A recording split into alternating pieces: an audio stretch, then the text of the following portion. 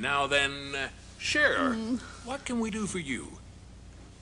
Well, Doctor, the thing is, there is still one bit left of me that hasn't had plastic surgery. Is it in your nose? Oh no, it's not my own. Is it in your breast? They're made of silicone. There's only one bit of sure. Snip, snip, That's really snip, her. snip. We wanna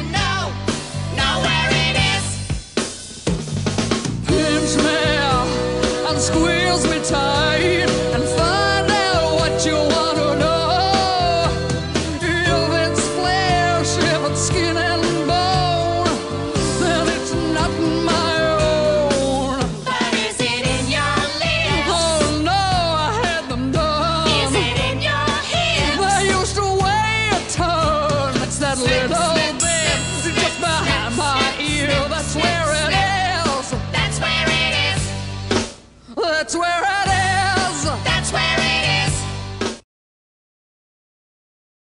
Oh.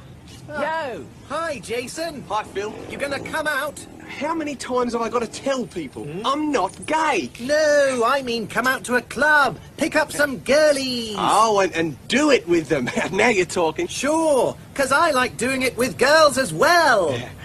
As well as what? Hmm? As well as you do, of course. Oh, look out, girls. Here we come.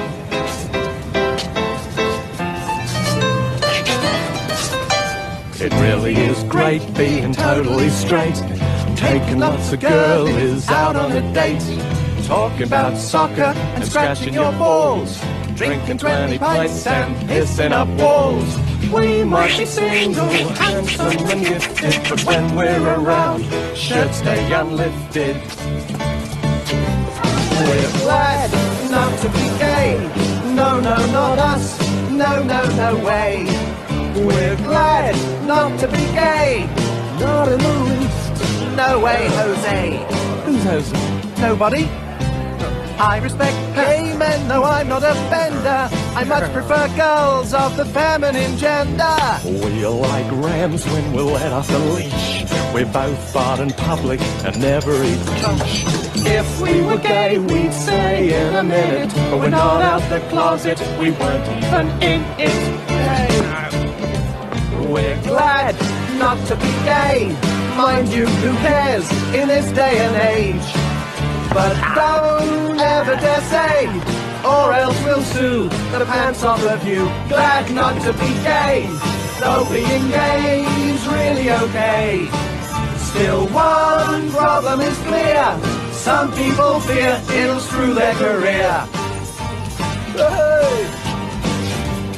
Jason, look at the bra on her. Wow, yeah, I'd really like to Oh. unfasten it clumsily, you know? Are you going down to the match tomorrow? Well, after I get pissed, I will. I'll see you down Loftus Lane. Okay, look, we'll drive there, you know, have a bit of a burn up. Mm. Don't, don't want to get too drunk, though, you know, well, that shandy's a killer, isn't it? Hey,